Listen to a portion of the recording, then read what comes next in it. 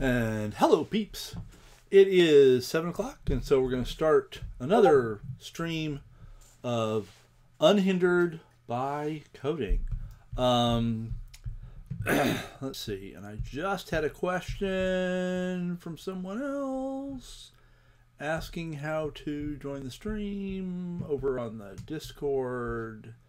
Am I going to be able to answer that quickly? That's a great question. Uh, let's see. Twitch.tv Nick McPhee.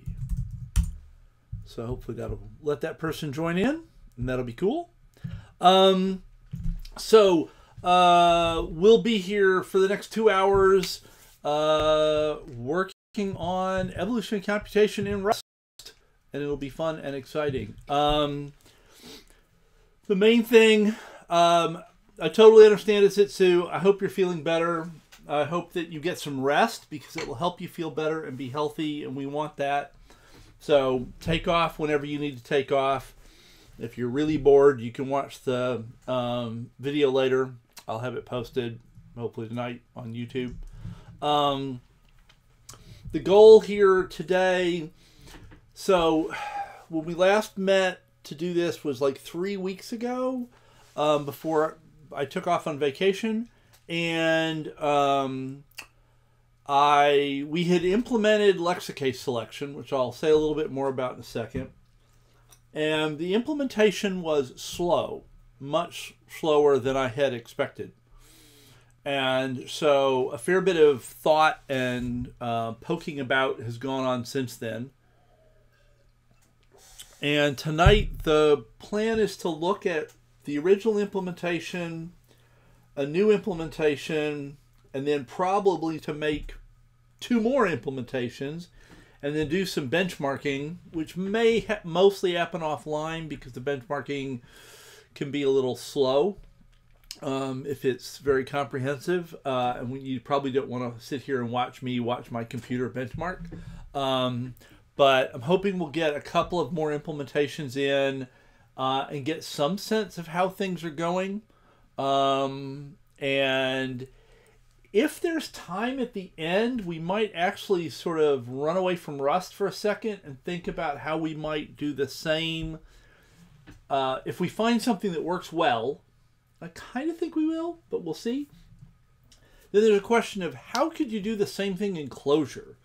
So most of my research work has historically been in Clojure, um, uh, and well, in recent years has been in Clojure, um, and uh, I still have a lot of colleagues that are working in Clojure and really like it and aren't going to probably want to switch to Rust. Now, there are some options. Um, I could try to figure out how to do interop between Clojure and Rust, which is really between Java and Rust. Um, and uh, provide some Rust tools that they could call from Clojure. That's a possibility. Um, but it'd be nice if the basic idea could be carried over to um, Clojure, but I'm not quite sure what that would look like. Um, so might poke at that depending on how long the other things take. And the other things always take longer than I thought they were going to, so don't really know if we're going to get there, but we'll see. Um, so let's look at where we uh, left off. Um, so there's this is a uh, a very nice article. I'll put a link here in the chat. Uh, if you're interested in learning more about um, Lexicase, now this is this is not an introduction to Lex, Lexicase. There there are some good introductions. Um, in fact, Bill La Cava, the article author of this article, and Tom Helmuth, who's the article of the the first author of the article that this blog post is about. Um, Bill La Cava is also a co-author on that article. Um, the two of them together have done a couple of whoa, that wasn't what I meant to do. A couple of tutorials on Lexicase at some of the large evolution computation conferences. Um, And if you go to the ACM Digital Library and do some searching, you could almost certainly find it. Um, if you're having trouble finding it, holler and I can fish up a copy of their slides. And it's a it's a good introduction to Lexicase if you're interested in getting into the weeds. We don't need to be in the weeds for what we're doing today, but I figured I'd give you the um, link. And this is a nice blog post that uh, talks about the runtime properties of Lexicase selection. Um, Lexicase has been very successful in the sense that when people use it, they are able to evolve the things that they're looking for more effectively. Um, they're more likely to get good results um, from a like, can I evolve the thing I want sort of perspective. Um, but it is slow. Uh, and um, this article uh, that this blog post summarizes uh, in a nice way indicates that it's not as in practice it's not as slow as the kind of naive worst case scenario might suggest but it's still not fast by any stretch of the imagination um, and we're going to keep using it because it is has good properties but if we can speed it up that would also be good and i'm afraid the, the at least in Clojure the standard standard implementations that I'm familiar with are not very efficient and I think could be improved a lot. Um, and so I'm, I'm going to start this with in Rust uh, because I want to see kind of what we can do there. Um, and I think Rust forces us to think about memory management in particular a lot more carefully than we would in Clojure, where it's very easy to just generate piles of memory that then the garbage collector has to clean up. Um, so uh, this one one of the reasons I went here, other than the fact that it's a nice blog post, is there's this nice uh, example pseudocode of how Lexicase works um, that highlights some of the problems um, that I think most implementations have, um, and that I'm hoping we can do something about. So um, the idea is that you have a population, and that's what Bill is calling individuals here. So you have a collection of individuals, a population. Um, these are all possible solutions to your problem. And they all have a set of errors attached to them. So there is a set of test cases essentially, and each individual, each solution is run on each of those test cases and gets an error, like how well did it do.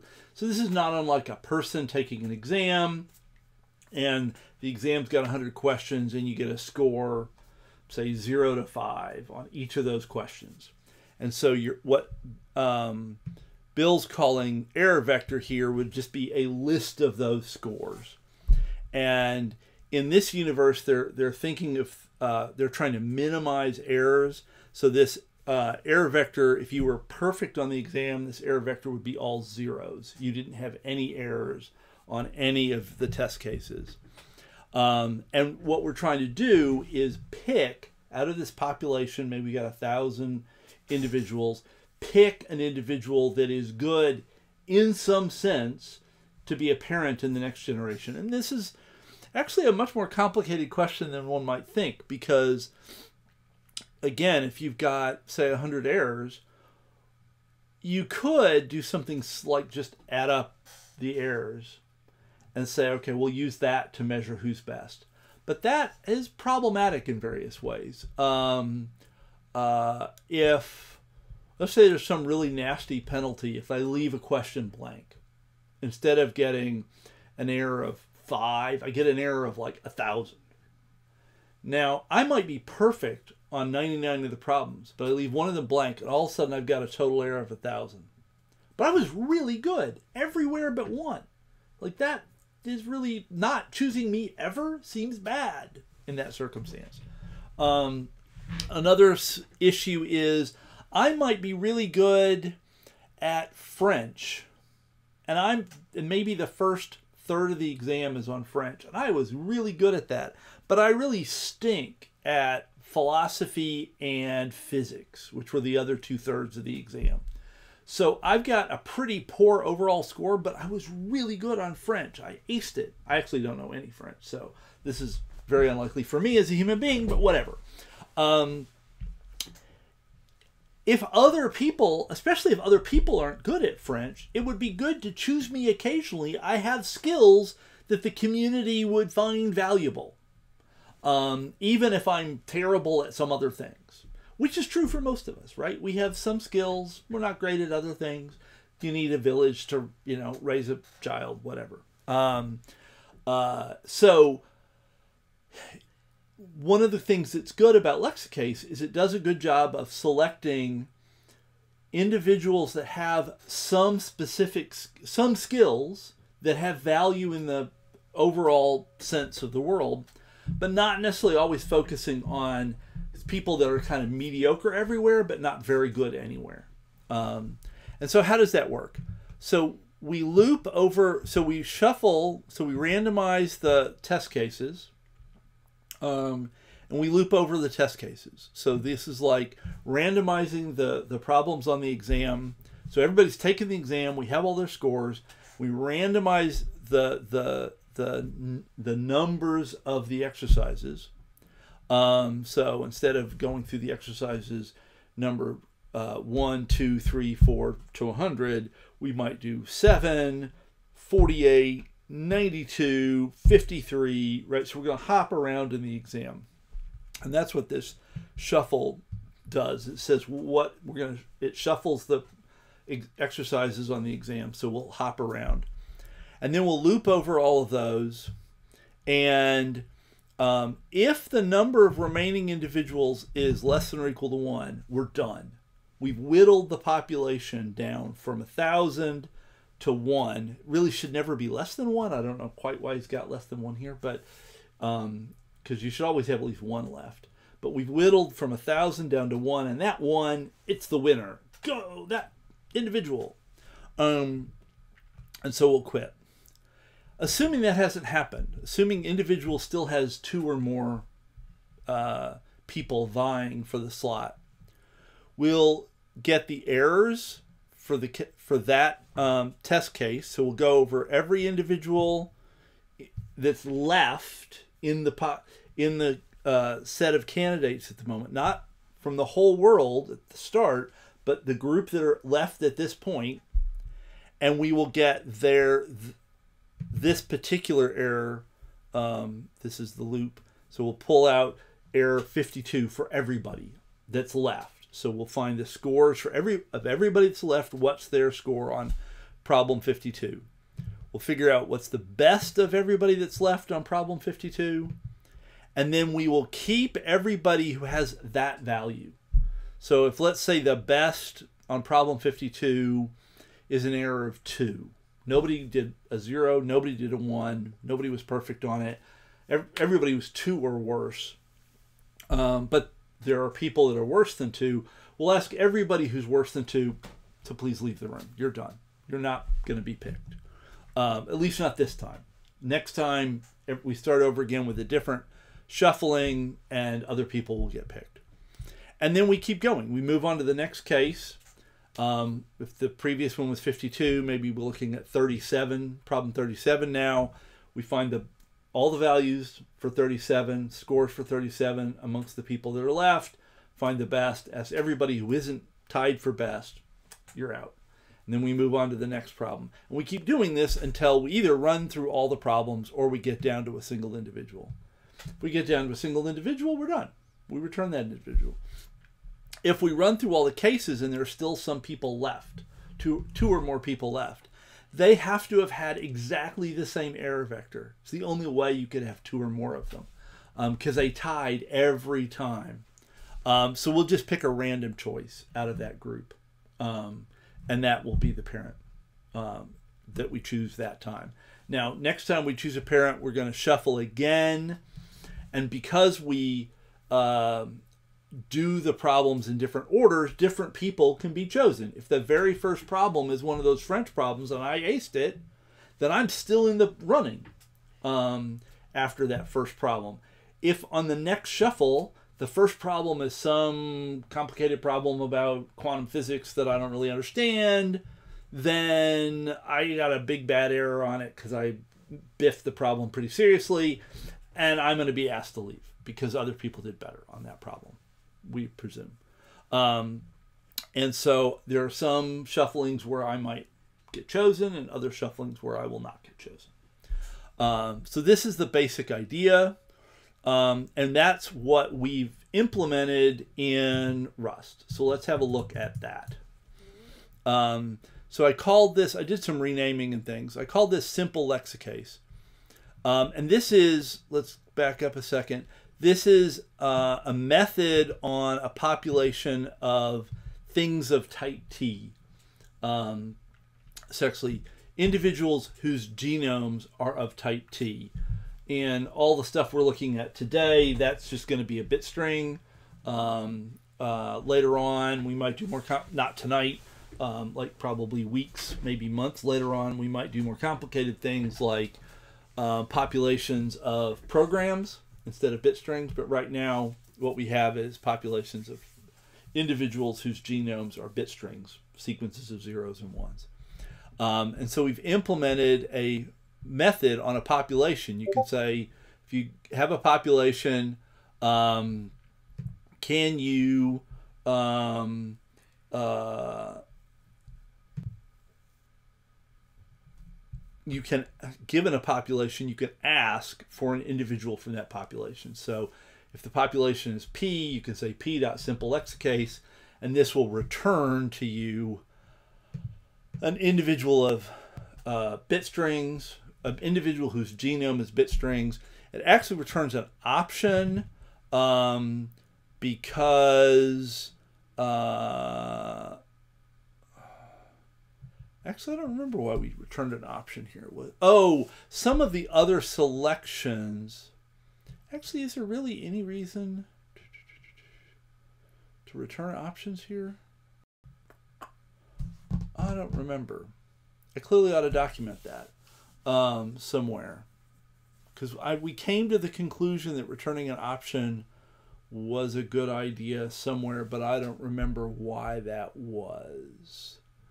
Um, and it seems a little odd because the only time, only reason you wouldn't have an individual uh, would be if the population was empty.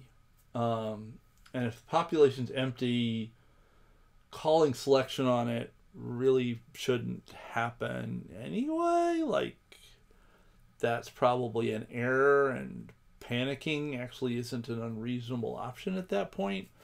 So I don't remember why. I'd have to look that up. Um, uh, actually, I'm going to put a to do here to remind myself to look into that later. Why are we returning? Uh, cannot spell options for all the selectors. Okay. Um, so simple lexicase basically is an implementation of what we just looked at, but in Rust.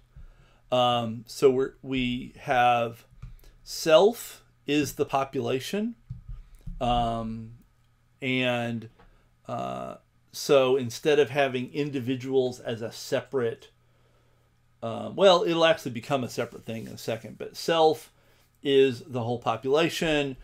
It has a field individuals that is the individuals in that population. Bracket zero gives us the first individual. And I'm just grabbing the first individual so that I can get, um, I can find out how many scores there are. Because I need to be able to uh, shuffle the set of indices and um, uh, I don't know magically how many scores there are. Um, so I find it by just grabbing the first individual, grabbing their scores vector, um, and then computing the length of that vector. Um, this should be the same for all the individuals in a population. Um, recomputing this over and over again every time uh, we call lexicase to get an individual. Um, it's probably not super efficient, which is this to do. I mean, realistically, it's pretty minor. It's certainly not a major part of the cost of um, performing lexicase selection, so I'm not going to worry about it right now. But you could imagine a universe where um, this num scores, maybe even this vector of case indices was computed when the population was created and stored in a field inside that population um, so that we don't have to redo it over and over and over again. Eh, I'm not it that is I'm quite sure not the major problem at the moment, so I'm not messing with it right now. But important thing is we figure out how many scores there are and we create a range from zero to num scores. In Rust, the right hand um, thing is exclusive, so we do not. Uh, so that is zero. If there's 100 scores, that's zero to 99. Um, and uh, so we that turns all of this into a vector. So we get a vector of 0 to 99, and then we shuffle it um, and pass in uh, this thread's random number generator. Um, and I'm skipping over a lot of the um, Rust details, like all the ampersands and the mute, um, uh, for the moment, because they're not really the point of what we're working on right now. But if at any point you've got a question about any of that, um, not having any sense of what pe- people's different backgrounds uh, with regard to Rust are, I'm absolutely happy to answer questions. So feel free to hop in the chat and be like, what the heck is that thing online, whatever, and we'll talk about it. It's a sign of my progress over the past five months now that, you know, things that used to be like, what the heck is that, are now like, oh, I didn't even think about that anymore. So um, that makes me happy. Then we create the set of candidates. So this is what um, Bill La Cava's pseudocode called individuals. Um, and uh, um, we're going to create that set of candidates um, by taking all the individuals, turning that vector into an iterator. Well, actually, yeah, getting an iterator that would iterate over that vector of individuals and collecting. And that gives me a vector of references to individuals. So self.individuals is actual individuals. Um, it is the a vector of the actual individuals. And I don't really want to be passing around the individuals because then I would potentially lose ownership or I would have to make copies of them. Um, and this is one of these things that in like Java you wouldn't think twice about it, uh, and then you would not have any idea who owned the individual, and you could get weird side effects that you didn't expect, and bad things would happen. Um, but in Rust, it's like no, you really have to think about this stuff, um, and uh, this is an example where we really want candidates to be a vector of references to individuals, pointers to individuals, not the actual individuals themselves, um, because we don't want to take ownership of them. We, we're happy just having, we're never going to need to change any of the individuals. We're just identifying one so we can return it. Um, and so, uh, one way to turn a vector of things into a vector of references to things is to pass through an iterator which gives you an iterator of references um, and then collecting all of those back into a vector, um, which seems a little weird. Um, it seems to be the kind of standard way to do it, but um, it strikes me as slightly odd. Um, and it'd be nice if there was actually, it would feel kind of rusty to me if there was a a built-in thingamadoogie that turned a vector of items into a vector of references to items. Um, but as far as I can tell, there isn't one. So, um, so that's all this does. You can kind of ignore that if you're like Rust confuses me, because um, all that's doing is changing types. Now, um, here's where the action is. So for test case index in case indices, so we're looping over all the randomized test case numbers. Um, so this is where we say, let's first look at exercise 29 and then 74 and then 38. Um, and uh, so we'll loop over all the test cases.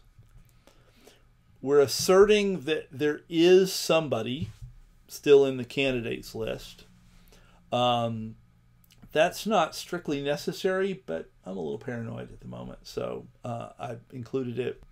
Um, and notice that this also means the Some kind of doesn't make a lot of sense anymore um, because there should always be a candidate. But um, if the number of candidates is one, we'll break out of the loop because we've we're down we've whittled the group down to one candidate, so that candidate's going to win. So we can leave this for loop and just return them. Um, otherwise, we need to compute the maximum score on this test case.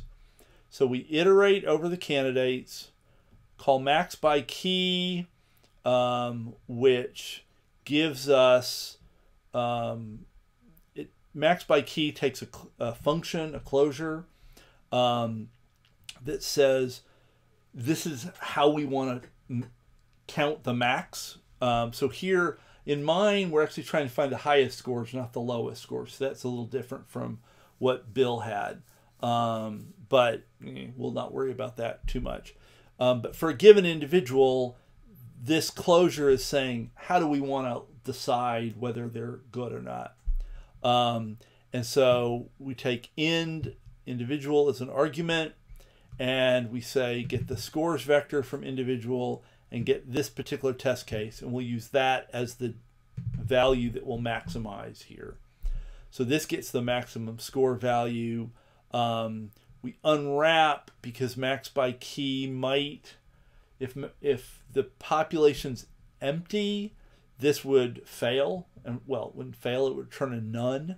Um, otherwise, it returns a Some, wrapping the value. Unwrap just gets rid of that Some um, and would fail if there was a none. But we know from this assertion that that can't happen. So this is a safe move. Um, and then that gives us an individual um, and then we get the scores of that individual and then we get the test case index. So that's the score on this test case. That's the best score on this test case of anybody in the population. So that's what this does. It finds the highest value score for this test case anywhere in the population. And then we take the candidates, which are a vector, um, and we uh, turn them into an iterator, um, and we filter uh, for each of those individuals. We see is their score on this test case equal to the best score. And if it is, we'll keep that individual, otherwise, we will discard them. So, this is keeping everybody who's had the best value. Collect We'll turn that back into a vector studying life is good. Um, so that works. Oh, and then after we've done all the test cases, we return. Oh, I don't actually, I don't randomize here. I probably should. Um, so I probably ought to shuffle candidates um, and then return zero. Actually, why don't we just do that? Um, shuffle uh, and mute ran thread. And then we'll return candidate zero. Uh, and that means I want to steal this line and put it down here as well. Okay. Now so what's what what what's the concern? Um, so there are two issues. If we go back to um, two couple of potential issues. Um, one is that we traverse the vector twice. So notice that we loop over individuals once here, and then we do it again here. And so we end up, if there's a thousand individuals, we go through them once to get the maximum value, and then we go through them again to do the filtering. And that seems meh, probably not terrible, but it doesn't seem great either. Um, it'd be nice to go through uh, only once instead of going through twice. Uh, and that's one of the things that I think we want to look at tonight. Um, the other is we construct a lot of lists and throw them away. Um, so, for example, individuals is a list of individuals, comes in being everybody. But every time we go through this loop, here we're constructing this indiv- this uh, vector of errors, finding its min, and at that point, this vector is no longer used and needs to be garbage collected. So we've allocated memory for that vector and we've garbage collected it. And we're going to do that for every one of the possibly 100 test cases. We also create a vector here of individuals. And we will have to garbage collect that as well, because in the end, we only return a single individual. So every, for every case, we're going to create two vectors in this case, in this setup, and we're going to then garbage collect them both. And that I think is actually pretty expensive. I think we spend, we did a little um, performance testing uh, using the flame graph crate um, three weeks ago, and it suggested that we were spending a lot of time allocating and deallocating memory. Uh, and so that I think is certainly one of the big issues. And one thing that's nice, I think nice, um, about um, Rust is that Rust makes this kind of thing easier to see. Um, uh, and so, well, I don't know. Is that really true here? Um,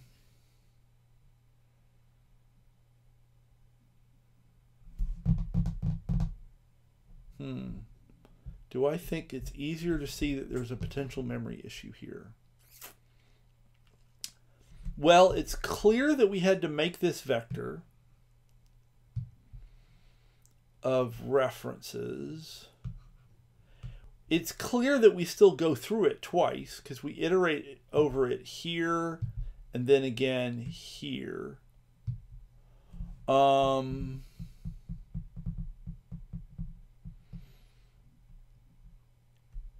And I guess this assignment, so actually, I don't think it's super obvious in, in Rust that this is happening. But in this assignment, we are saying that we're going to replace the old value of candidates, the old vector, with this new vector, which means the old value is no longer owned by anybody and will need to be freed.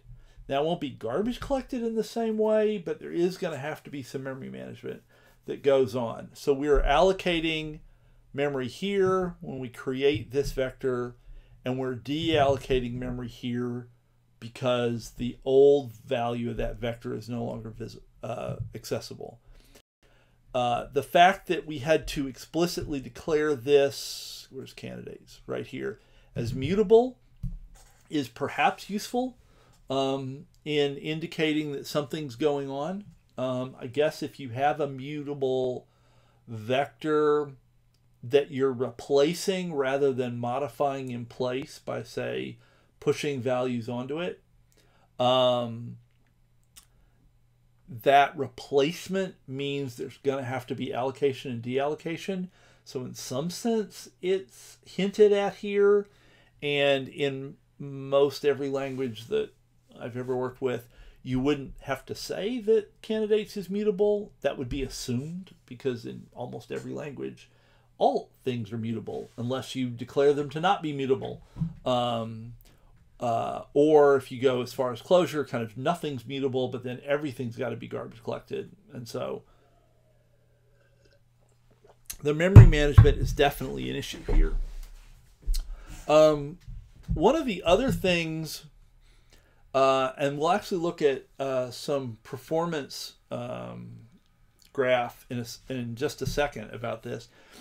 Um, this, so I called this simple lexicase, and that's because it doesn't remove duplicates.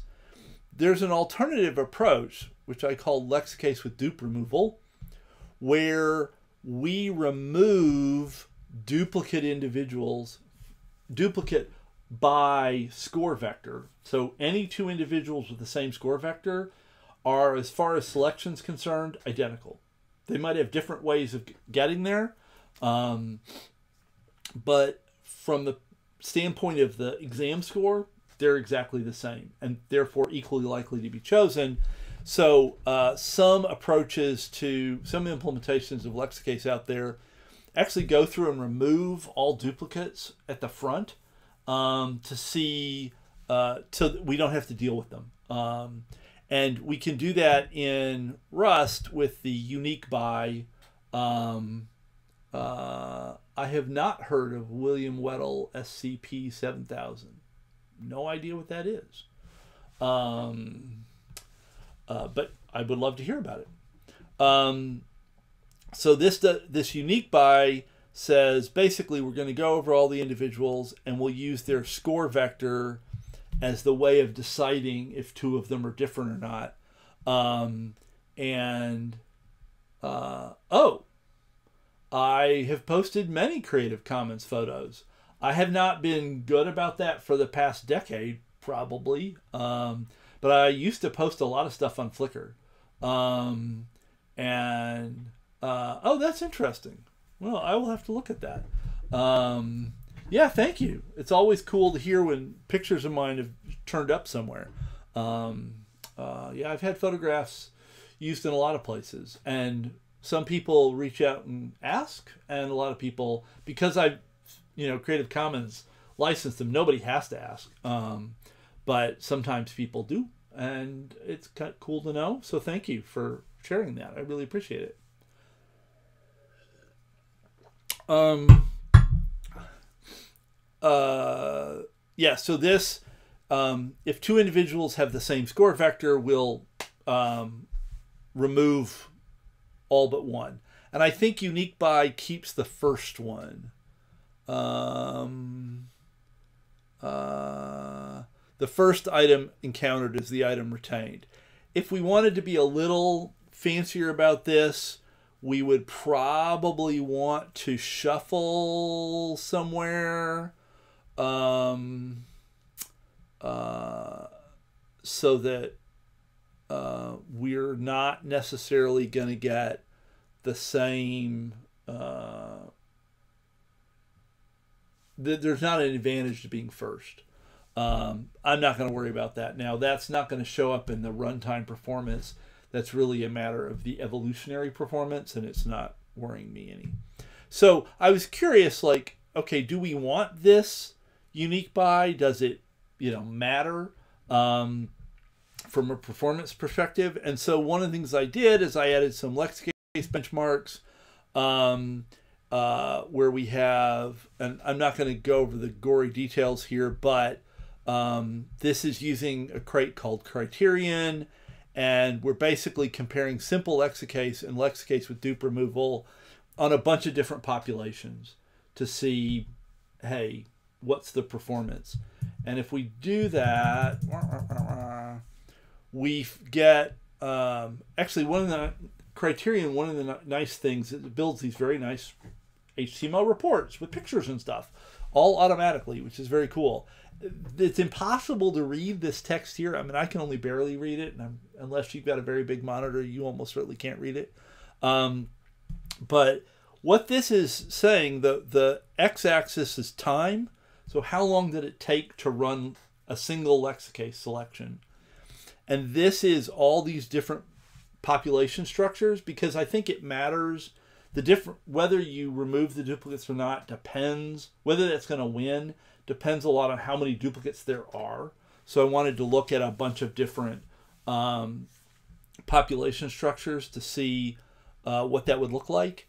Um, and uh, we can see that some are very, very fast. Some are kind of midland uh, and actually then sort of trail out to here. In some ways, these guys are the end of a curve that starts here. And these guys also um, are in some ways part of this curve. Um, and what matters is that, and this is the thing you probably can't read at all, is these fast ones are all attached to simple lexicase. So this is simple lexicase on a completely random population. So all thousand individuals are different. Um, this is simple lexicase when there are 10 different values. Um, so there'd be, so the population size is 100. So there'd be, I mean, 1,000, sorry. So there'd be 100 of type A and 100 of type B and 100 of type C for 10 different types. And this is 20 different types, 25 different types, 40, 50, 100, 200, 500, and 1,000. And these are all simple lexicase that does not remove duplicates. And they are all quite a bit faster than their counterparts that do remove duplicates. So this is um, where this was simple on a random population. This is simple on, uh, I mean, removing duplicates on a random population. Much worse. These guys are removing duplicates on 10 groups, 20 groups, 25 groups, etc. Um, and it gets worse when we're removing um, duplicates. If we uh, don't, if we remove duplicates and there are 500 individuals, this is much worse than this. And if we remove duplicates and there are 1,000 individuals, this is way worse than that. The only place where simple loses um, is this guy right here. That is simple on a uniform population. So every individual is exactly the same. And this is duplicate removal for uniform where everybody's the same. So here, simple loses because uniform, if everyone's the same, that unique call turns a thousand individuals into one individual. Boom. And then there is no lexicase because one of the very first things that happens in the loop is are we down to one individual? And the answer is now yes, and we are done. We just leave. So simple, the cost, uh, I mean, uh, removing duplicates, the cost of uniquifying uh, is still high, but it's way better than having to look at everybody.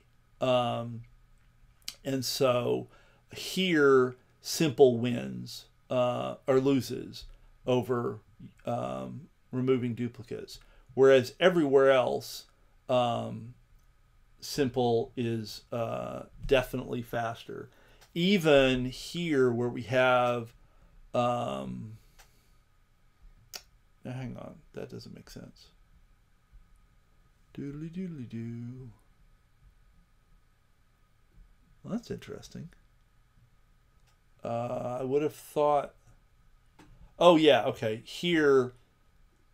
Oh.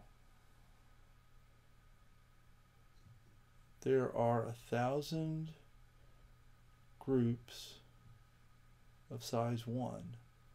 That should be the same as uniform. But simple is still way better. Well? Oh, no, no, no. That's a thousand groups of size one, so that's the same as random. Yeah, so this should match that, and it does. And this should match that, and it does. So, um, yeah, okay, that makes sense. Um, so if there's even 10 um, uh, only 10 different types of individuals and 100 copies of each one of them, you would think that uniquifying would really win there. But simple is still substantially faster than uniquifying. So I don't think uniquifying is a win at all. Um, and I'm having conversations with some of my research colleagues about that, and we'll see where that ends up. But that is enough background noise. Let's actually try to write some code, um, since that seems to be the point of the exercise. Um, in, in particular, let's see if we can avoid the um, oops, I don't want to be over here. I want to be here. Let's see if we can avoid iterating twice. And my model for this is actually going to be this bit of code. This is C++ code. So Bill La Cava's implementation of all of this has been in C++ historically. Um, and uh, I was looking at his implementation because I, I had a dim memory that he had done some things differently than the Clojure people had. And there's actually sort of some nice features here. Um, and in particular, so he has um, a winner, which is a vector of current candidates, basically. And he's looping this is where he loops over all the test cases. Um, uh, that this h less than case order dot size is basically, you know, while h starts at zero and while it's here, we're going to go through the test cases. Um, and this pass, his his implementation is a lot more complicated because he's got a lot of extra features that we are totally not thinking about. Um, but his pass basically allows him to avoid the break call that we have. Um, and um, the important piece is basically here. Um, we're going to uh, loop over all the individuals in the pool. So the pool is the set of current candidates, and winner is where we're going to put the candidates that get to move on to the next time. And uh, if the individual J in the pool, in the population, if their error is less than um, the current best fitness, which is what this min fit thing is doing, then we set min fit to be that individual's error. We resize winner to zero, and then we push that individual on. Otherwise, we keep pushing that individual on. Uh, or otherwise, we push that individual on if it's equal to. So if it's less than, we found a new best, and we're going to um, set our best our min fit to be the value we found, reset the vector to zero, and then start pushing things onto that. And this avoids passing through twice. We don't go through once to figure out what the smallest value was, and then once to put all of those individuals on the list. Here we find the smallest and maintain the list in one loop. Um, and so a question is, is that really what's is that an important difference? Um, or is the cost of going through the loop twice really not a big deal? Um, so that's sort of the, the, the question that this raises.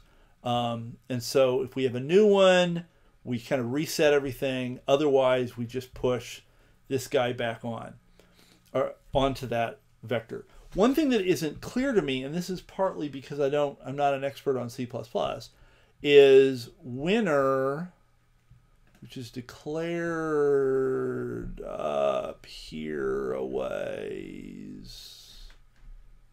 It's oh right here is a vector of int um, in C++, and so I think this is an array-backed data structure. I think, and that. Um, when we resize to zero, I'm guessing, I have not taken the time to figure this out, but I think if you imagine an array and you just keep track of how many of the slots are actually being used, resize zero just sets that number back to zero, saying, hey, no, there's nobody here, but doesn't bother deallocating any memory or erasing any of the previously existing individuals. Um, it just moves an it just sets an integer to zero and doesn't do any cleaning. And if that's true, then this is much more efficient or potentially more efficient um, in its use of memory because we're not going to have to continually allocate a new array to put the winners in. We can reuse the existing array and just move um, point, you know, move a counter back to zero when we need to. Um, whereas in our current setup, we allocate a new array, a new vector over and over again. So this makes, um, oh, this collect here, this makes a new vector um, that's totally different than the old vector. And we will allocate new space for that. And I feel like that is probably not awesome. Um, it's possible also that just the avoiding two passes is the win. So I want to first implement this where we just avoid the two passes but don't worry about the memory and see what how that performs. And then we'll um, do it again uh, where we actually um, try to manage the memory in a more sensible way. And we'll see what happens. So uh, let us do that. I'm actually going to be a terrible human being. Um, because copy and paste is the death of understanding, as one of my colleagues is used to saying, and is right um, in many ways.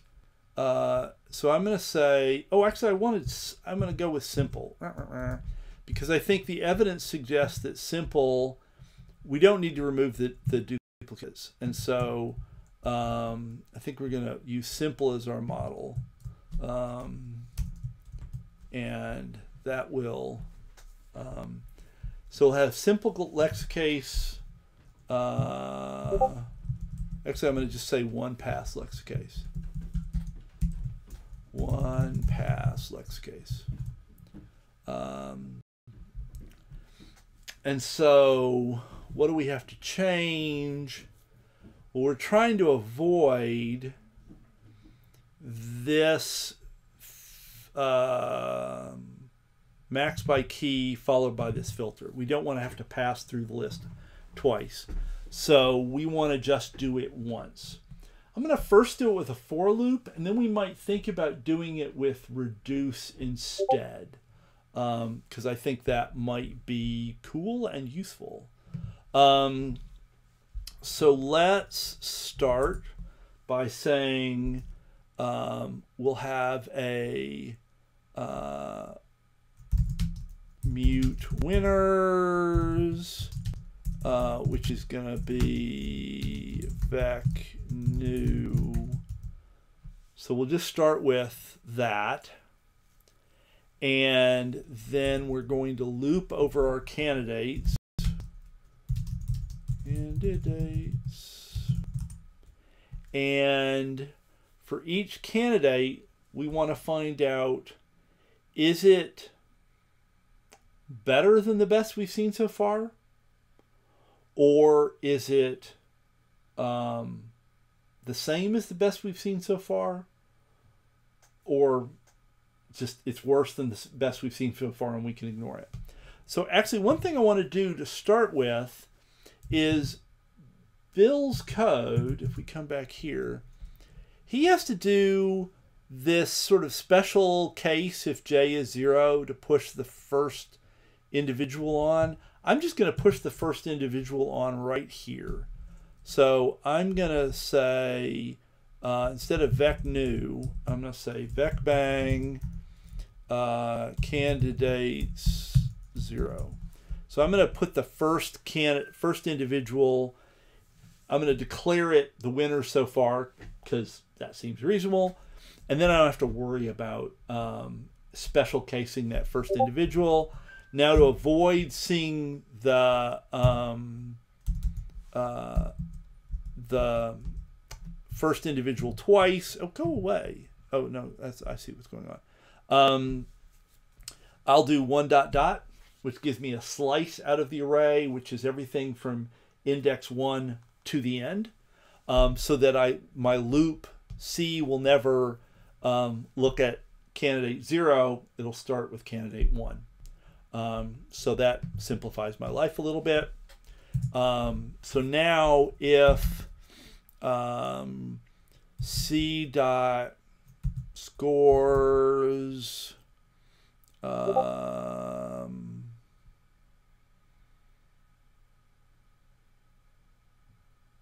so what is C? C is a. Uh, why are you? Yeah, yeah, that should work. Um, uh, test case index. Uh, if that is less than um, winners zero dot scores dot uh, bracket test case index.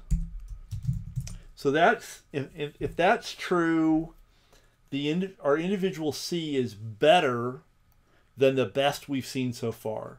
So we need to make it the new uh, chief in charge. So um, that means we need to say, uh, well, let's again not worry about memory management um, and just make a new vector.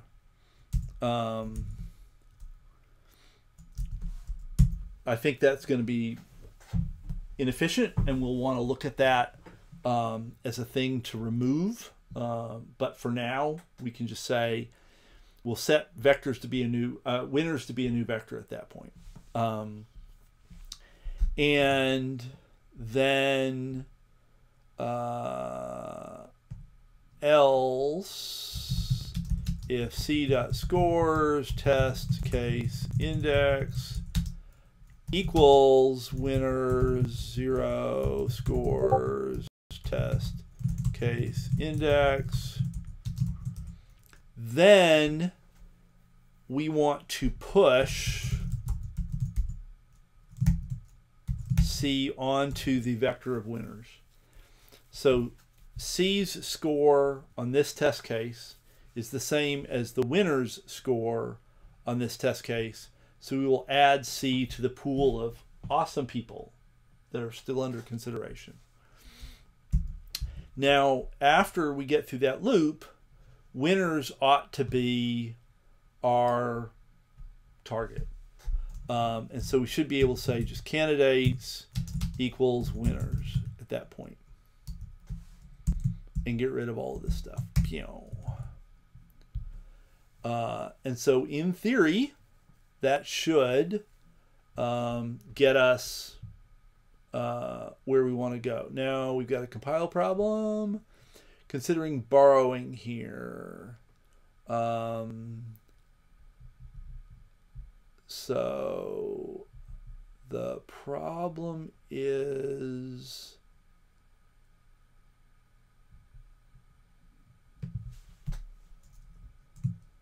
is that what I need?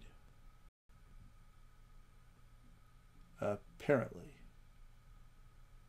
Why did I need that?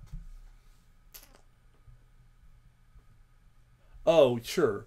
Because I want a reference to this vector, this slice, not to take ownership of that subarray. I just want to be able to point into it and say, loop over this subset of candidates. Um, without this, I would be taking ownership of that sub slice of candidates array, and that's going to get me in trouble. Um, and isn't what I need. I don't need to reach into that and modify anything in that sub array. I just want to go through it and look at the individuals that are there. So having a reference is totally reasonable here. And that um, without the reference, notice I get this insane type um, inferenced here um, that uh, made me a little nervous before, uh, and I just chose to kind of look the other way. But uh, when we put the reference in, then C is a reference to a reference to an individual, which is fine. Um, uh, that'll do what we need. Um, and notice that even though C is a reference to a reference, um, uh, nifty magic in Rust means we can do things like C dot scores, and that will kind of reach through both of those references and get us to the scores vector for the individual being pointed at by C. So, voila, we wrote a thing. Um, now the question would be, how does it perform? So let's go over to benchmarks. Now I want to simplify this a little bit. Um, right now I do a lot of benchmarking, um, as we saw in this graph, and waiting, having you wait for all of these things to run would not be lots of fun. So I think we're just going to look at um, random, uniform, and well, let's maybe do a hundred, uh, hundred different groups, um, because I think that probably gives us enough to be useful without uh, tying up your life. So these first, the, this part does random and uniform, um, uh, and we don't need to dwell on that too much. Um, and this does the uh, groupings, and I'm gonna um, just change this to be um, what I decide? 100, I think. I just do one, yeah. If we just do like a 100, I think that'll be fine. Um, I'll just comment out the rest so I don't have to remove it. But that I think should give us not too many benchmarks, um, but enough to be interesting. So I'm gonna run this. So we're using cargo criterion. So that's a, a cargo plugin that runs the criterion benchmarker. And we can say which set of benchmarks we want to run. And I just want to run Lexicase benchmarks. And that's defined in my cargo toml. Um, you can define groups of benchmarks. I have four groups of benchmarks defined here, uh, one of which is Lexicase benchmarks. Um, and that is this module here. So that's basically going to limit me to just running uh, the benchmarks in this file. So we won't have to run through a whole bunch of other benchmarks as well. Um, so, boom, let's have that start. Oh, of course, it has to compile some things because that's how these things always work. And I've got a couple unused variables, not important for our context. Um, that was for me playing different stuff. Um, okay, finish building. You can do it. You can do it, little computer. And while this is grinding, we might go look at um, uh, this William Weddle SCP 7000 thing. Um, so we can see here it's running. So it ran simple lexicase uh, on random um, and lexicase with duplicate duplicate removal with random. I don't know why these are saying they've regressed so. Oh, you know, I, I do know why.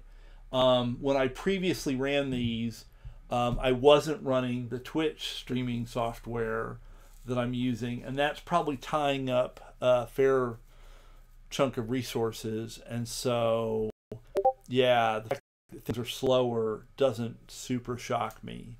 Um, that's a little annoying. Oh, you know what? I forgot to actually ever put in any calls. Uh, kill that. Uh, to um, our new thing. Well, that's not helpful. So we got a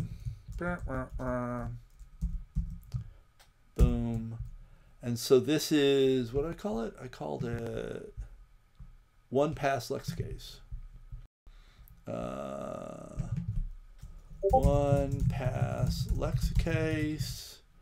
And this is going to be one pass Lex case.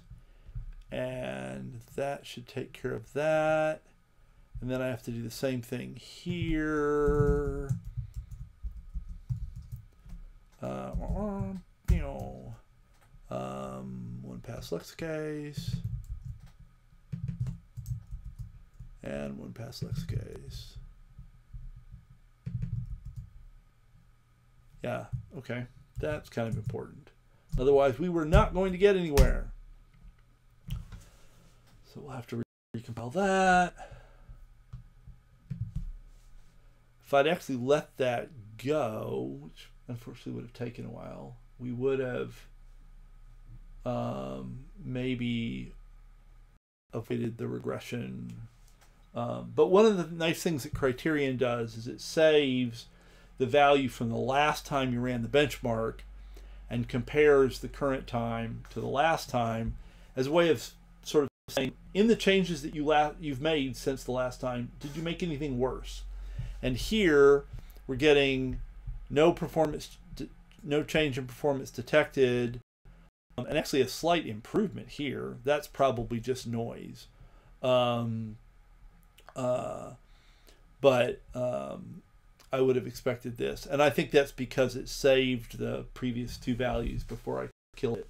Um, at some point, we're going to run into things that it had not been able to do. And then I would expect we would see maybe more regression. I don't know for sure. Um, and one pass Lexicase doesn't have an improved or not because it hadn't been run before but we can see, aha, it is significantly faster. Um, so on a random population, one pass lexicase is over 10 times faster than lexicase with dupe remo- removal, which is, and is, but is slower than simple lexicase. Oh, that's interesting. Uh, it's like three times slower than simple lexicase. We did not make things faster, um, at least on a random population. Um, on a uniform population, one pass is 1.7 milliseconds, and simple Lexicase is 1.8 milliseconds, so it's maybe a hair faster, but that's probably not statistically significant. Um, so that's a good question, Alan eight two oh one. Um, which one do I think has the most room for improvement? Oops, not the right window. Um, well, I mean, in some sense, the slow ones, um, which are random, uh, so that in a in a random population, everybody is different, um, and so uh, uniquifying has zero effect um, oh, actually, th- these are not both random. So this is a simple lexicase on random, and this is uniquifying with random. So I guess if we really focus on simple, since I use that as my starting point, um, this is simple uniform. Oh, actually, we can even um, simple lexicase. We can look at just simple lexicase. So uniform is way out here it is much slower than everybody else. Um, random and even small amounts of structure, simple is quite a bit faster. But if um, the population is random, then essentially we have to go through uh, many, many cases because everybody's different before we've whittled the world down. Oh, sorry, uniform, uniform. In the case of uniform, everybody's the same. And so we basically have to go through all the test cases, still find we still have everybody, because everybody was just twins of each other, uh, and then pick one from that. Um, and so that requires the most work for simple Lexicase. Um, I guess 10 might have been an interesting option to include as well because that is also so the little ones so maybe 10 or 20 um, as well as 100 which is the one i did include. So maybe we should include 20 um, so good question um, let's include 20 as well um, and let's rerun things And while that's grinding, let's also, because I'm curious, um, and probably vain, but um, so uh, what was it? Uh, William Wettel SCP 7000?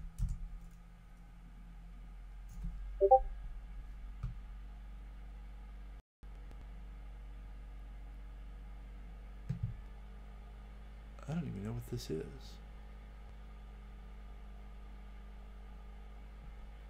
What? Eek!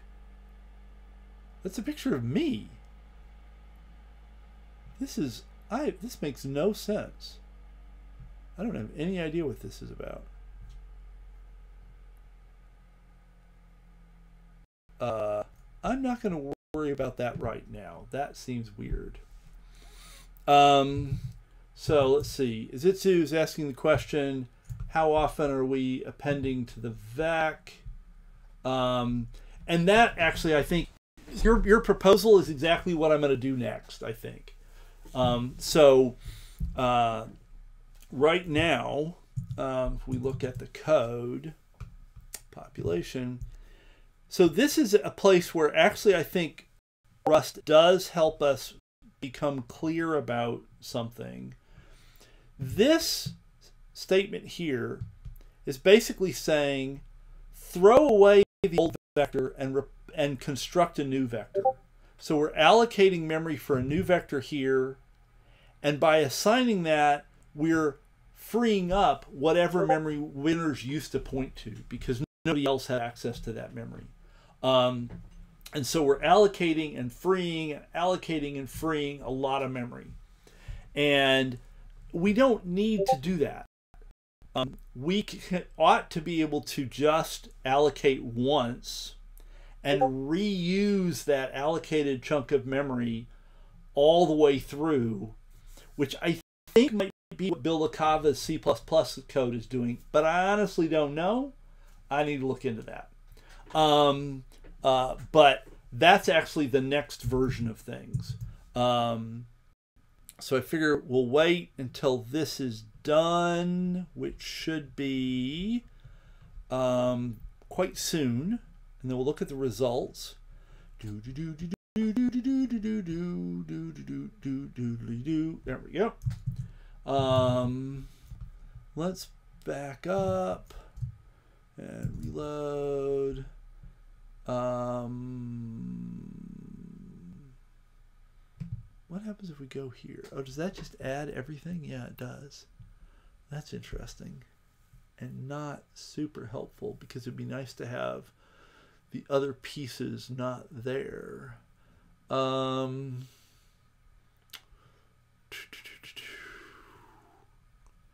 and there's not, I mean, I can do well, I could just look at so random. Uh, I've got to reload. So simple lexicase and one pass. So one pass on random is slightly slower, actually. Um, still considerably better than with dupe removal, but slightly slower than just simple. So so far that didn't win anything. If we look at uniform, reload. Uh, one pass is again a, maybe a hair better than simple, maybe. Um, almost certainly not a statistically significant difference.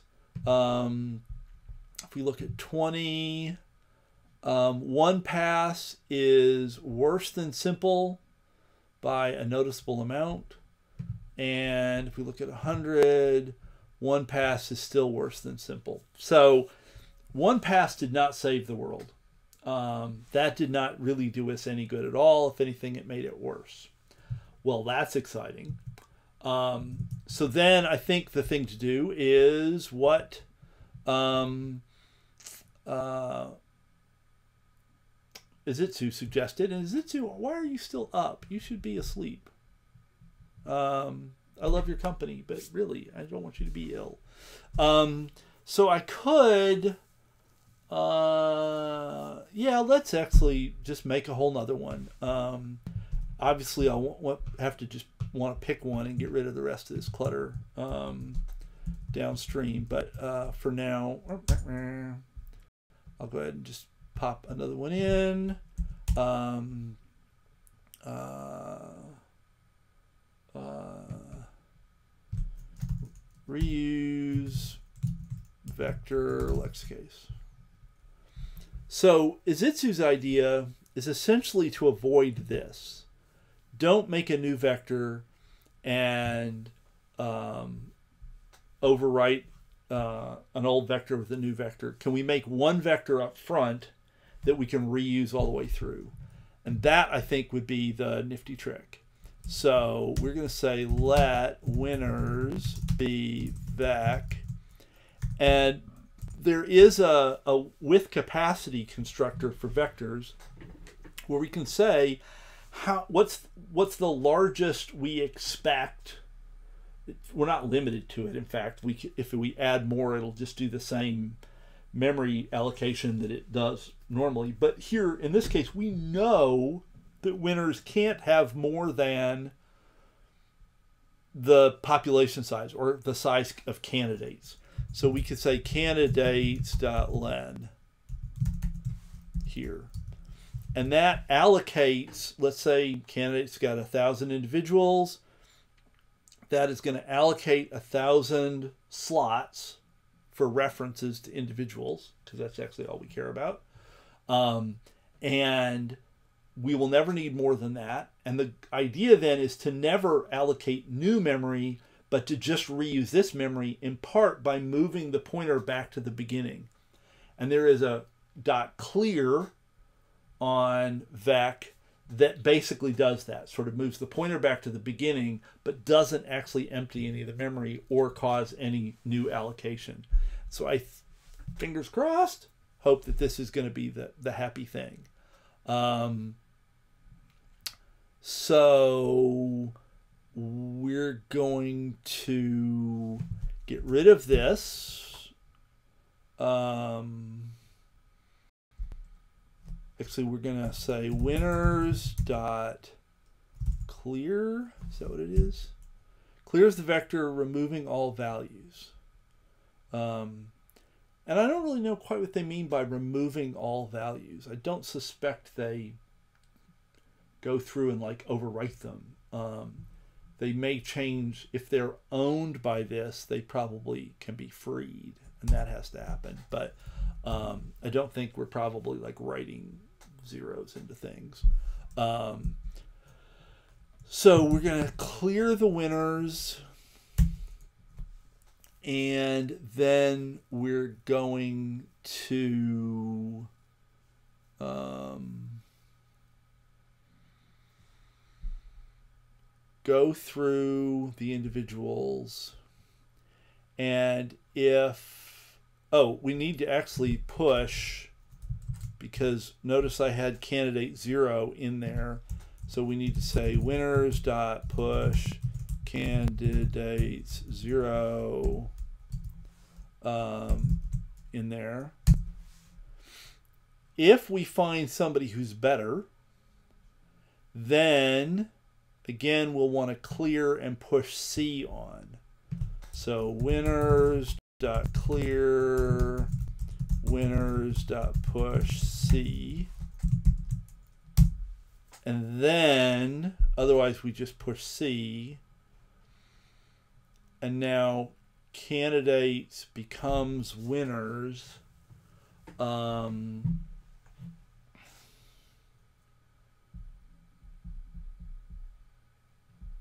No, that's not going to work though. Because we we're gonna have to copy. Why are you grumpy? Oh, you still don't need. What really? Type annota- annotation needed for vec_t. Oh, interesting.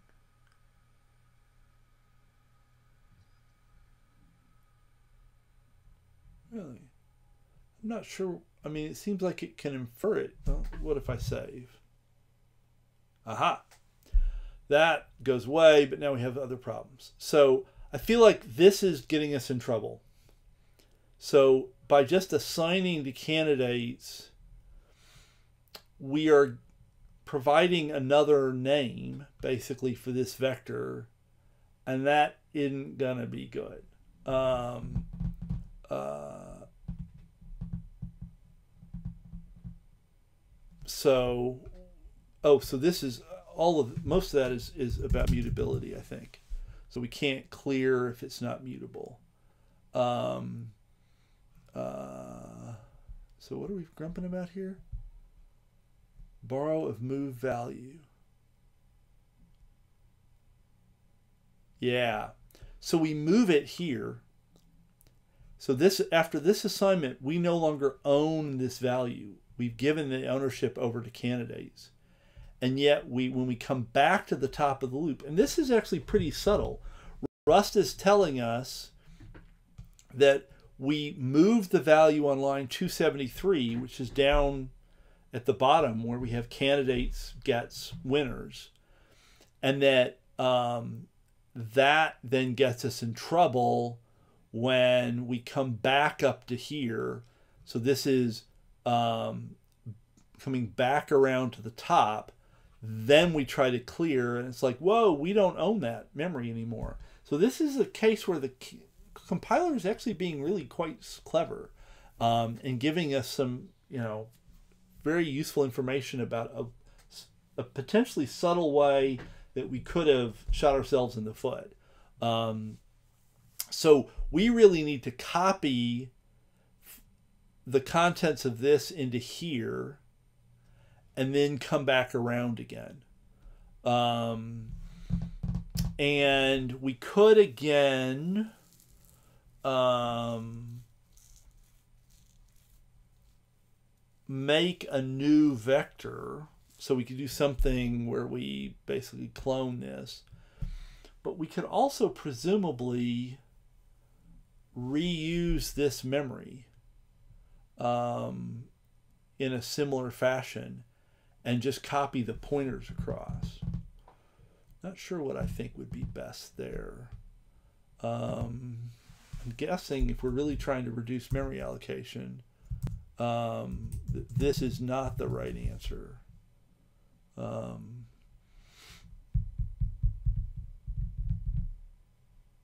yeah. Let's try that. See what that looks like, and then I won't make a whole new one. Oh, mem swap. Uh-huh. Things to look up. Um, Rust mem swap.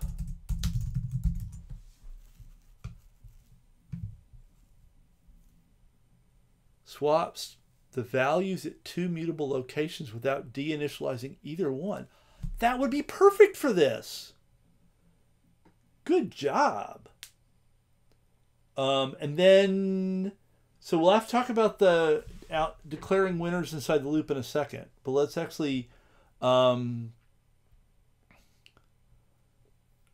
so we want to swap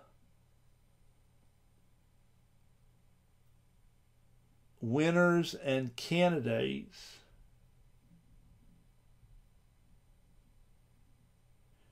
now do we really want me think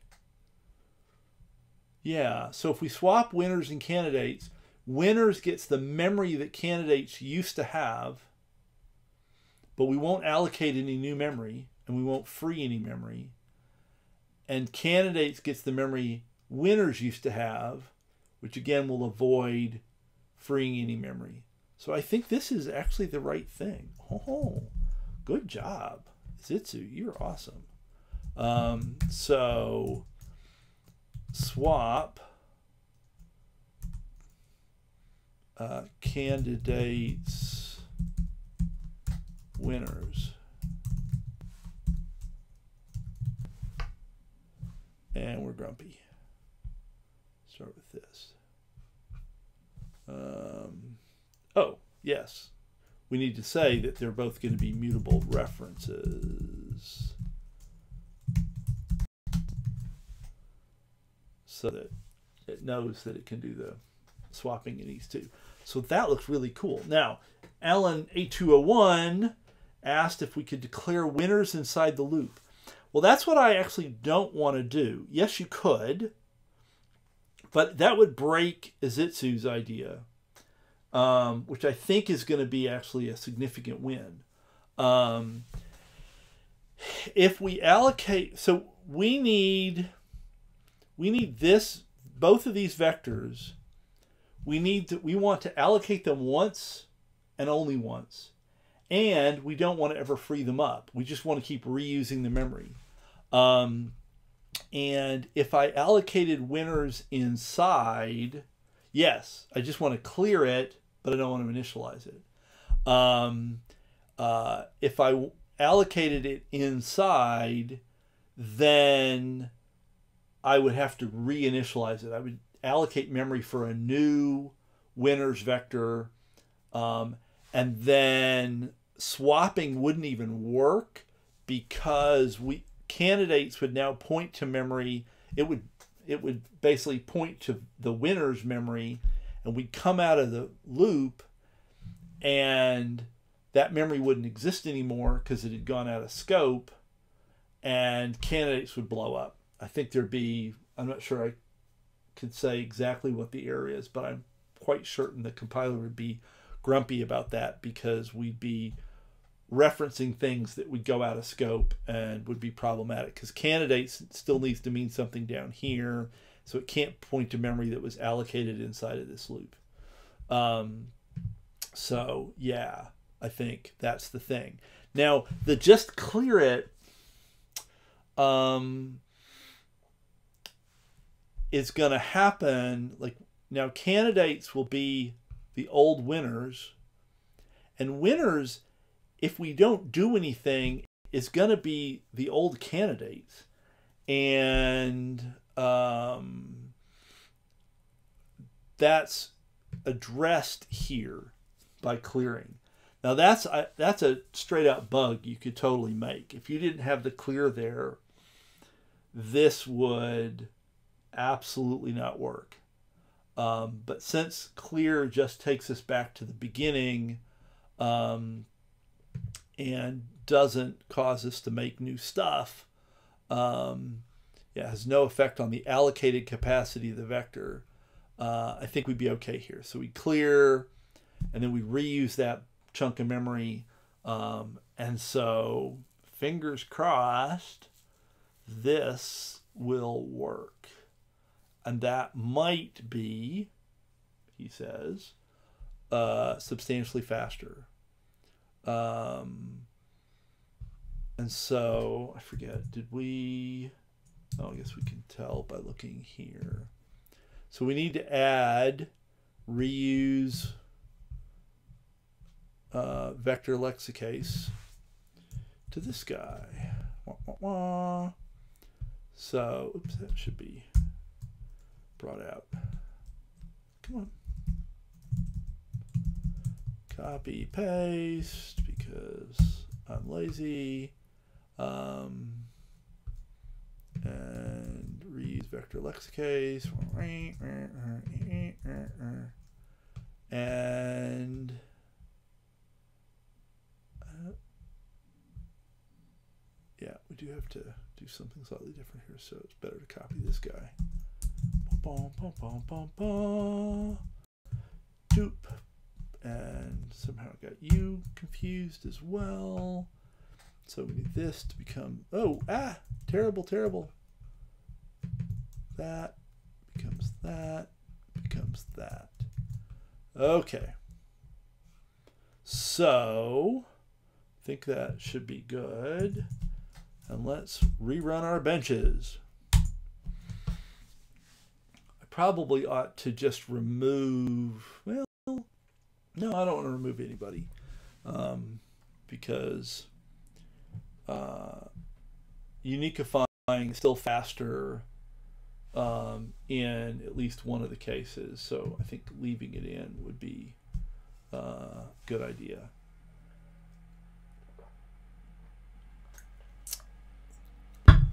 Come on, go little computer. Um,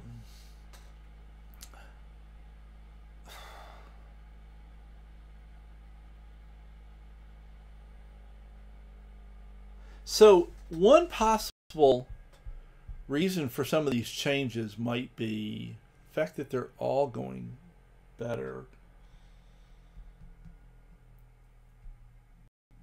If it's a truly random population, the population itself could be um, skewed. Um, and it's a different random population every time. So it makes comparing from one run to the next um, a little dodgy. Um, and so maybe that's part of what's happening here is that um, the populations are different and have different properties. Uh, and that's why things are weird. So actually, if we scroll back here, um, so this is reuse vector was 49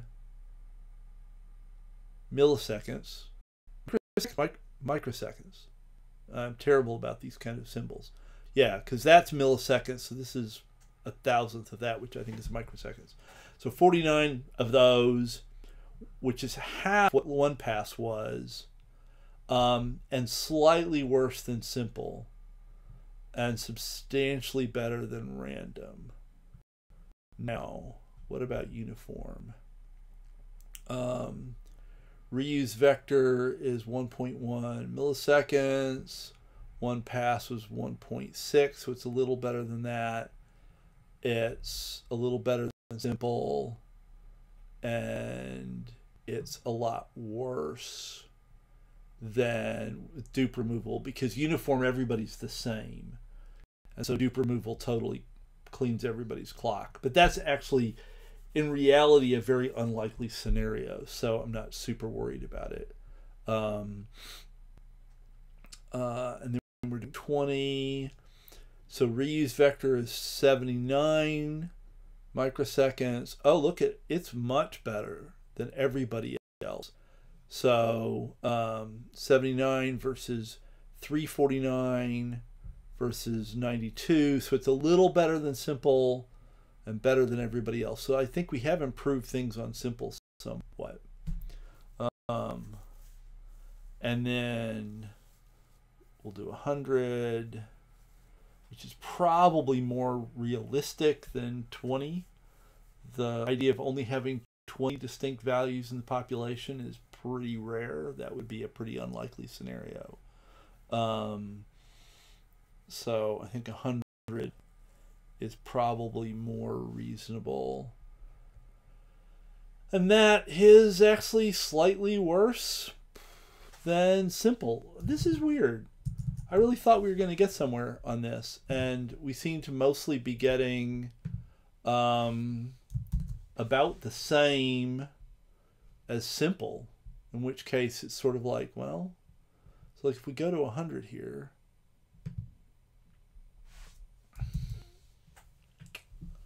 Um, yeah, reuse vector and simple are about the same, but better than one pass. Oops, didn't mean to do that. Uh, which is better than with dupe removal. Um, so we've gone to a lot of effort to be more or less back where we started. Huh. That's weird. Kind of annoying. I was really expecting this to be like, awesome, we're going to win prizes. And I don't know that we're winning prizes. Go to 20. Yeah, so reuse, probably not statistically significantly better than simple. It's a little better, but it's not I think a lot better. Um, and but better than one pass. So one pass made it worse than simple. So have I did I do something dumb in my one pass that why would that have made it worse? Um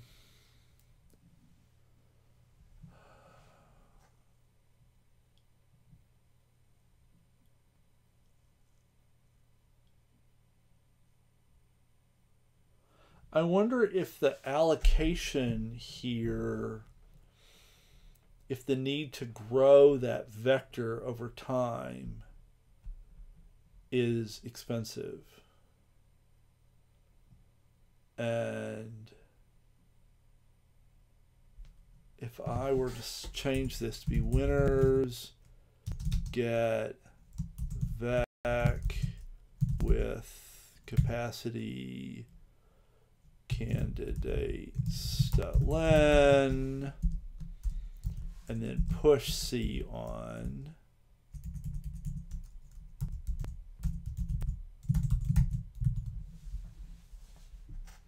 Would that be better? I don't know. Let's run our benchmark and see. Um, because otherwise, I don't. And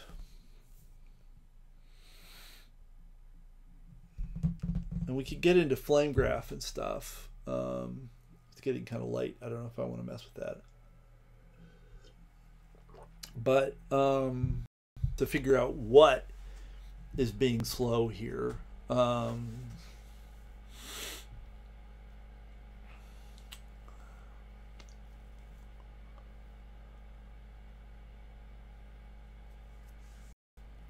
you don't think what I just did is going to be any better. And I don't suspect it's going to be any better either, to be fair. Um, at least not a lot better. Because I assume, I don't know what the default capacity is when you make a new vector, but it's not going to be zero. It's going to be something. Um, and so I don't suspect we're going to see a lot of memory growth increments um, in the course of this. So it doesn't seem super likely that this is going to be an improvement. But I'm a little confused as to why this is worse than simple. Because I would have thought, I mean, maybe there's some compiler optimization that it's able to do um, that this breaks.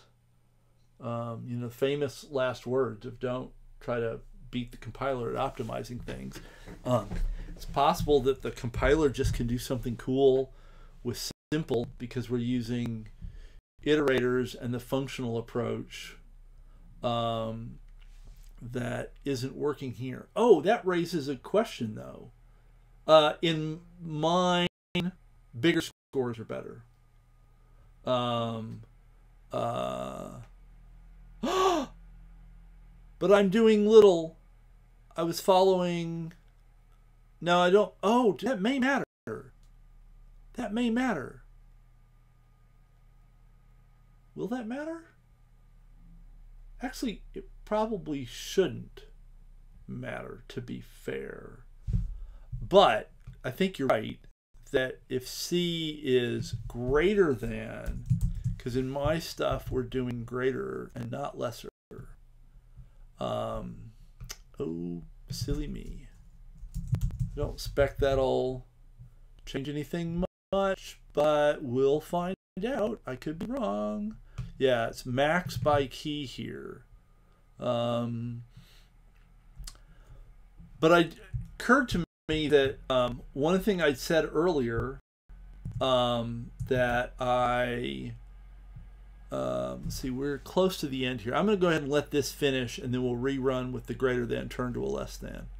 Um, but I think what I want to do next, actually, since we got 20 minutes left, is instead of having a for loop, actually using reduce. And if in fact part of what's happening is that the compiler is able to do smart things with um, uh,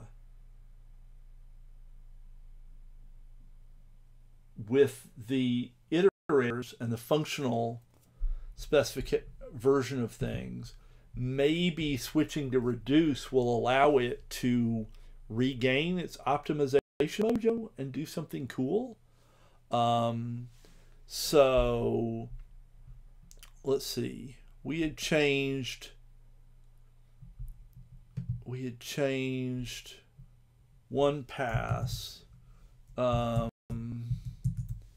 oops, no, that wasn't what I wanted. I wanted this. So one pass lexicase did get better here, but it got worse there. Uh, so it probably didn't really change in a meaningful way.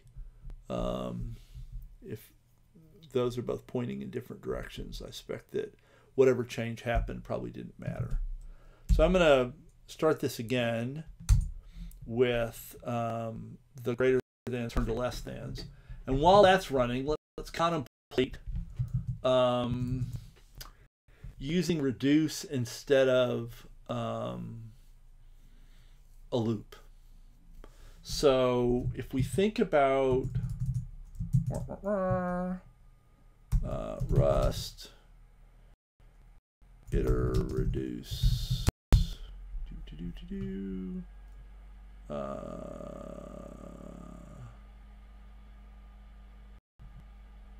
I think here, and there's fold and there's reduce. Um, they differ in one takes an initial value and a closure, and reduce doesn't take an initial value. So I think I want fold actually. Um,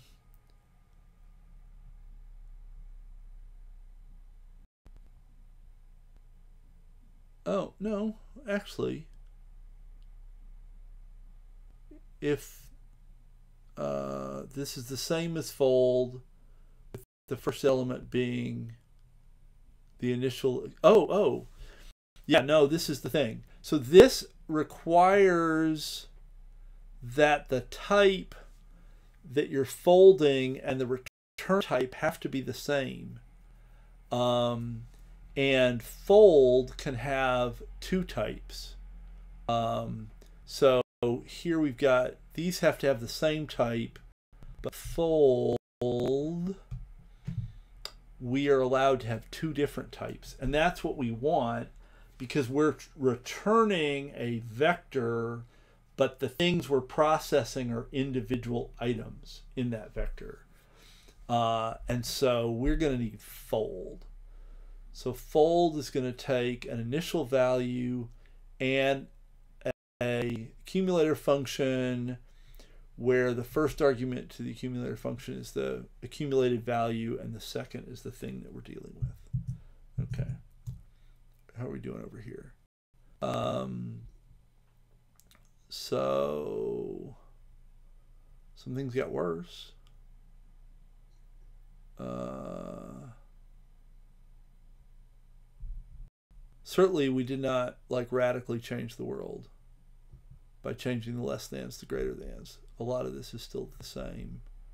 And we seem to be going up in some directions and down in others. So I don't think. Well, these two both got better. And that's what we would have changed is one pass. But here, one pass and reuse got worse. So I don't think those were telling us very much. That's my guess.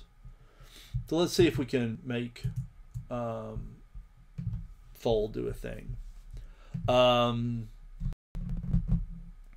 and you know, Alan B201, you may be completely correct that the uh, actually I wanted to say the ghost of Don Knuth, but I don't know if he's still alive. Um, off top of my head. Um, uh, met him a few times many years ago. Um, my best friend in high school was a grad student at Stanford. Um, oh, that's very cool. Um, and uh, Knuth was his advisor. Um, So I got to meet Knuth a few times um, because of that. Um, okay, so let's look at one pass. And here we want to really all of this is going to go away. And candidates so, so even make that go away. Candidates is going to be candidates dot fold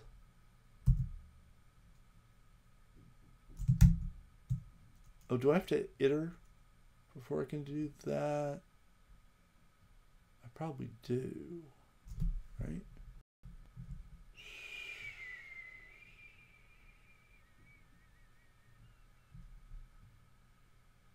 Yeah. So I'm going to want to say candidates.iter.fold. And I'm to, we're to start doing this so I don't completely lose track of the world. And fold took an initial value, which is going to be an empty vec. Uh, and although we could do candidate zero and then just iterate over so into okay remind me into iter used it but I don't consuming vector that moves each value of the vector the vector can't be affected. Oh and that makes sense because we're gonna eat this, make a new vector, and overwrite it. So into iter makes more sense there. So yeah, I agree with that. Um, and actually, I'm going to just leave this alone because we're doing candidates. Yeah, I'm just going to say vec new. I think worrying about that. Um, oh, but we're going to have to then special case that, aren't we? bird. Uh, well, let's tr- let's let's try it. Time to be brave. Vec bang candidates zero, and this is going to then be candidates one dot dot. Uh, and then this is going to be our closure that's going to take the winners. Ooh.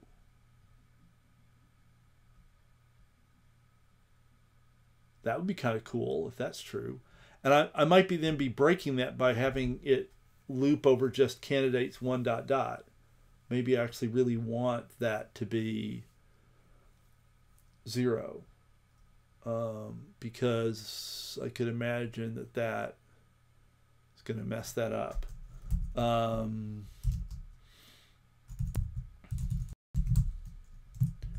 so we're going to have those guys. And oops, I forgot to do an open curly brace. Uh, open curly brace, boom. Uh, and then we'll want to have dot collect if I say to do bang here, we might find out if we at least compile. Oh, that's not an iterator. Fold, return, oh, yeah, fold returns the vector, so I don't need to collect. What am I doing? So,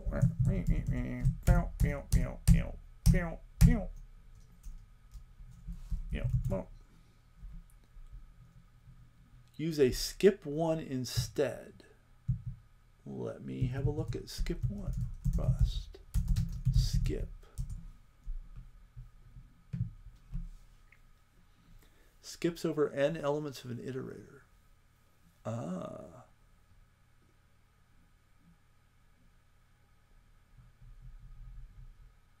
So we would, um, I would still have this, but this would be skip one here. And that breaks because into iter consumes this and I don't have access to that anymore. And I was afraid that would that was going to happen. Now can I just do something silly like let first candidate equals candidates zero? And do first candidate? Probably not. I don't think this is going to work.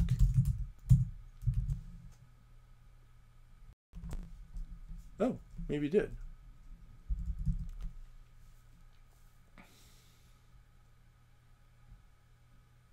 Hmm. I'm a little surprised that that I got away with that. Um, but uh, seems to be okay with that. So then we just have the same logic here. Um, so if individual dot uh, dot scores test case index greater than winners zero dot scores test case index then uh, we want to return so we need to return the new vector, which is just going to be winners dot push individual. And that doesn't return anything, right? Yeah, so then we would say we want to return winners. Well, actually, I bet I can do that just. Um, oh, but Whoa, ah, stop it. Go away. Um, I can't just do that. I do need to reset it. Um, so we could try that and then push the individual on. Else if individual dot scores test case index equals winners zero dot scores test. Case index. Then we'll just push the individual on. And then we'll return winners regardless. And so that What do you mean so, there we go. Oh, much grumpiness. Oh, these are not mutable. Yeah.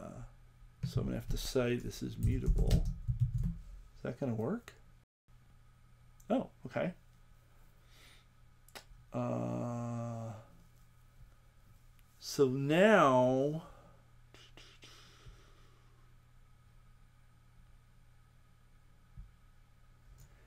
actually this would be a place where if we're reusing winners everywhere because we never allocate a new one I could allocate all the necessary memory once up front. Um, and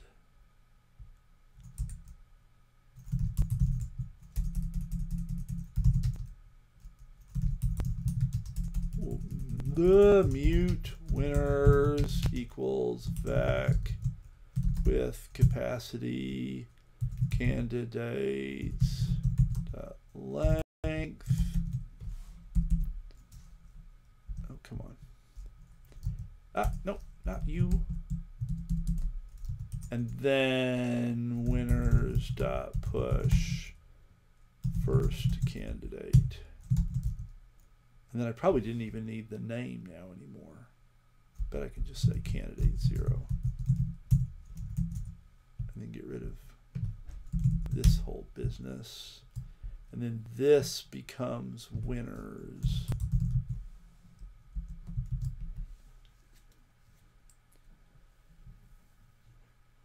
And then candidates returns. And so now with this clear,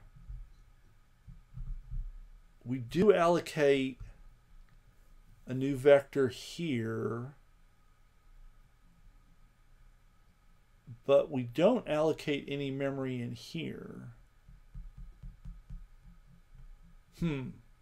I don't know. Let's find out.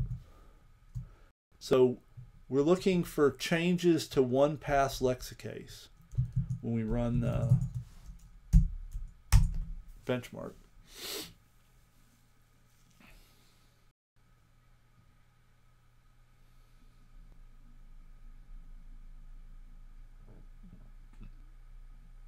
And fingers crossed something good will come of this. Please, please, please, please, please. I don't know. Uh, and maybe I'm over stressing about the uh, memory allocation that that really isn't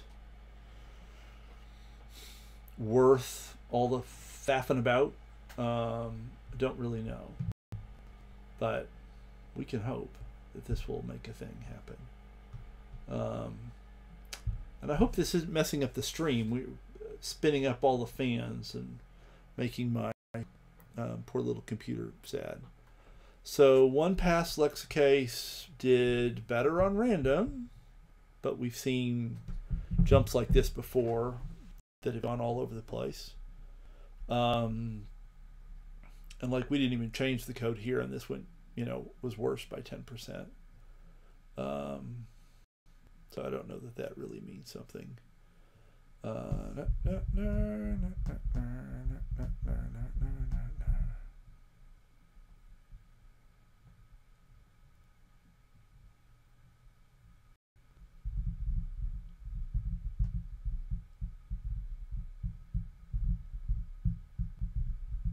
and we didn't touch this and it got better by a bunch. So that doesn't make any sense. Um, and uniform it's particularly weird to see it jump around because it's all copies of the same thing. So uh, it shouldn't change at all. Now one pass lexicase got better again so we have two changes in the same direction that's before. I don't know. Um, let's look at 20 and 100 because I think those will be the most interesting. Come on, little computer. Go faster, go faster, go faster. Um, we were working on um, one pass lexicase. So if we come back over here, so we put the fold in one pass lexicase. Case. So that's the one thing here that should have changed. That's the one I'm sort of paying. Ooh, 60% of, so it's interesting. So far in all the cases, one pass lexicase has gotten better. Um, but now notice that everybody else got better and we didn't change them, but they got better in small ways. So maybe now here, this one got worse. So it'll be interesting to see if one pass got better here. Um, and I'll, um, I will do a more complete um, version of the benchmarks uh, after this is all over uh, and I'll post the results on the Discord. I just shared uh, uh, invitation link to the Discord. So one pass lexicase got 70% faster. So it did improve on every one of the uh, test cases. That's interesting. Um, so if we look at one pass lexicase, and let's reload to make sure. So it got uh, I thought that was gonna show me versus past, but apparently not. Uh, let's look at um, let's look at 20. Yeah, I will totally commit today's changes. All of this is in a branch um, at the moment. Let's see. Do I have that even up? I don't know if I've got that up github.com rustga. So this work is currently all in this implement, implement lexicase selection branch. Um, I'll put that link and I will commit all of that after uh, we wrap up today. Um, and uh, then feel free to play, make suggestions, pull requests, magic. It'd be wonderful. Um, so, uh, so here, one pass is still slightly slower than reuse vector and simple, although I don't know for sure if I would say any of these are statistically significant. Um, and if we look at 100, which is probably a little more realistic, one pass is again still slightly slower than the other two. Uh, again, I'm not sure the, there are statistically significant differences there. Um, and if that if that holds, um, let's look at random just for fun. Yeah, doesn't really matter a whole lot. Um, I mean, if that holds, then I would vote for simple because it's simple. Um, and it seems to perform as well or better than everybody else. Um, I, I think the one other test it would be interesting to possibly do is maybe this is not great. I don't know. Um, uh, maybe that kind of messing things up in some fashion. Um, and oh, thanks for uh, following. Um, and but if we don't do that, we're going to have this sort of if winners is empty case that we have to check every time through, and that seems really irky. Um, I don't really like that very much. So, hmm. well, it is four minutes after nine, and uh, we should wrap up. I know there are people here that ought to be sleeping um, instead of participating in this in this fun and foolishness. Um, but thank you all so much, as always, for being here. It is super cool um, having folks and having the good discussion. I will um, I will run the full benchmarks uh, and post those results on the Discord, um, and then I will um, also commit these changes to that branch um, so that folks can have a look at that. Um, and if you see something, a better way to do this, uh, that would be totally amazing and wonderful. Um, so, um, one thing, oh, actually, uh, uh, so if we look at all of the stuff here, um, so these are with dupe removal. These are mostly without. Um, if we let's just look at simple. Um, so simple's times are running uh, in the 50,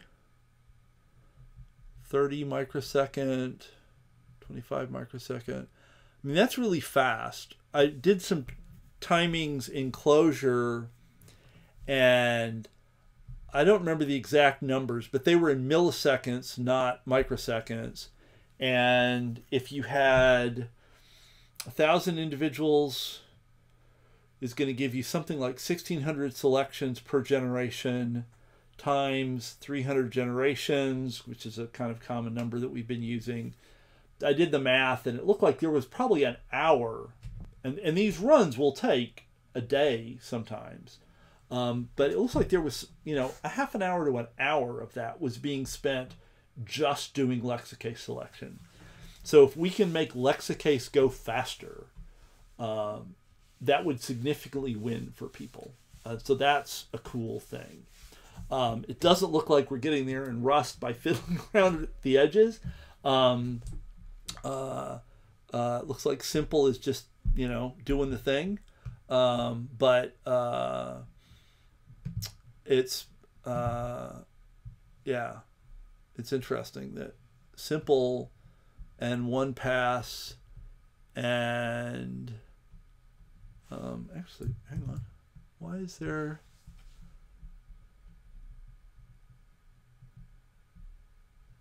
uh, oh reuse vector yes so reuse vector is in some cases like way out here um, in other cases, it's right in there. So, okay, I should quit.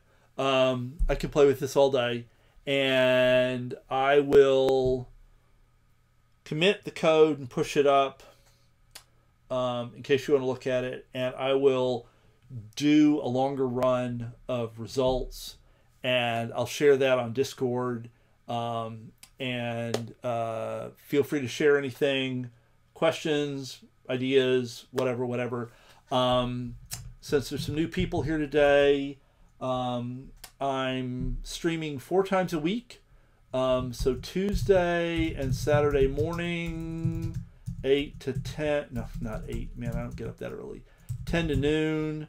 CD, all this is CDT.